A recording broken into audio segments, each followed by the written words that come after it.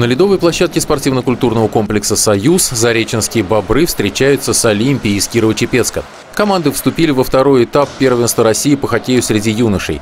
«Олимпия» на данный момент возглавляет группу «Б» региона Поволжья. «Бобры» пока замыкают турнирную таблицу. Однако прошедшие в заречном матче не выглядели как встречи лидеров с аутсайдерами. Обе команды показали добротный скоростной хоккей со множеством опасных моментов и силовой борьбой.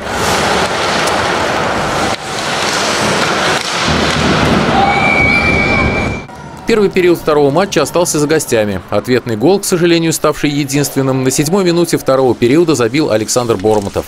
По ходу игры «Олимпия» шесть раз поразила ворота зареченских «Бобров». Последнюю шайбу гости забросили под занавес матча.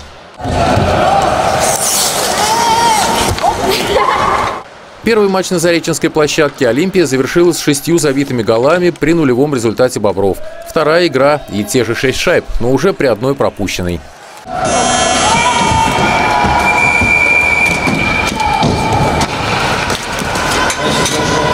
Напряженная игра. В принципе, так, такие обоюдоострые атаки.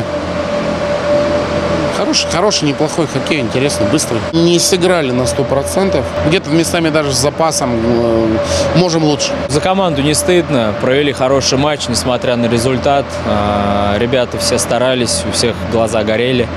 Вот, ну и бились, ну и хоть и, и забили одну шайбу, но я полностью ребятами доволен. Соперник здорово играет, у них организационная хоккейная игра, они занимают лидирующую э, места в своей таблице, занимают первое место. Вот. Э, с ними, конечно, тяжело играть, но еще раз повторюсь, то есть мы что смогли, мы то и сделали. То есть за команду не стыдно. Этими матчами «Бобры-2009» завершили выступление в очередном сезоне первенства России по хоккею среди юношей. Но игровой сезон не закрыт. 16 и 17 апреля команда проведет серию встреч с соперниками из разных городов за Кубок «Бобра». Станислав Корякин, Денис Дубицкий, телерадиокомпания «Заречный».